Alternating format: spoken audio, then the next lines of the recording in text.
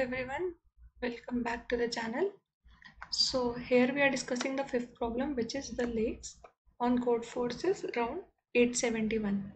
So the problem states that you are given n cross m grid A of non-negative integers.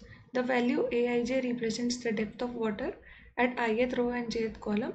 A lake is a set of cells such that each cell in the set has aij greater than 0 and there exists a path between any pair of cells in the lake by going up, down, left or right a number of times and without stepping on a cell with aj equal to 0.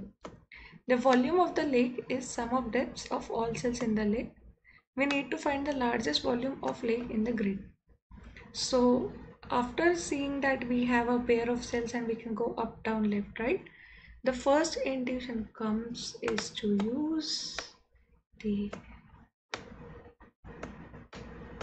DFS algorithm in this. So here we would be using DFS to solve the problem. So the way which we'll be using is uh, we will start by iterating through each cell of the grid and then if it is not visited we start DFS search from that cell to find the cells that belong to the same lake. So during the DFS search we would find these cells and track the minimum width uh, minimum depth of the cells we have visited so far. Since this represents maximum height we can reach within the lake. Once we have found all the cells in the lake we calculate the volume as sum of depths of all the cells in this lake. And we would repeat this process for all unvisited cells until we have visited all the cells in the grid we keep track of the largest volume we have find so far and hence we would return the answer. So let's take that we repeat this process for the other lake and then we have the largest volume at sum of the volumes. Now considering an example here in this we can take example of this one which is a 3 cross 3 grid. Here we can see that the maximum depth would be 5 plus 2 now let's see how it comes.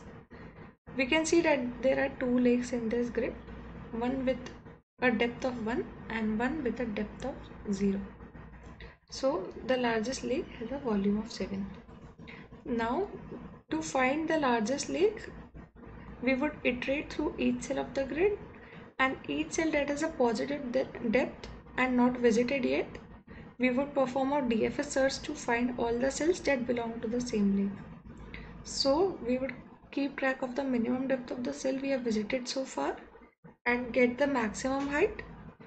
Once we have found all the cells, we would calculate volume of the lake as sum of depths and when we start DFS search from the cell at position 1 comma 2 uh, which would be our sorry. So our cell would be starting from so our lake would be starting from suppose we write 0 1 1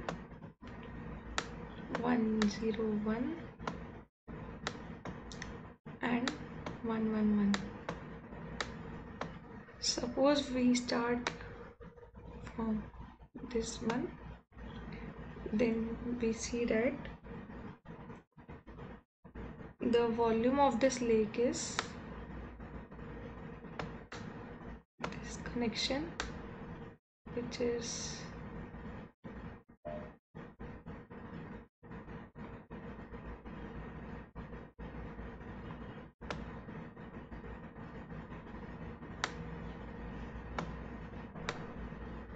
this connection and in the another iteration we would find this.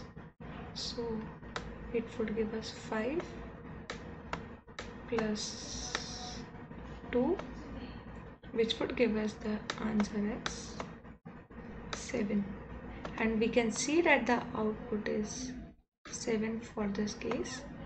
Hence the answer is correct so just we have to use the DFS get the depths add those and get the total volume. Hope you guys understand the solution. Thanks for watching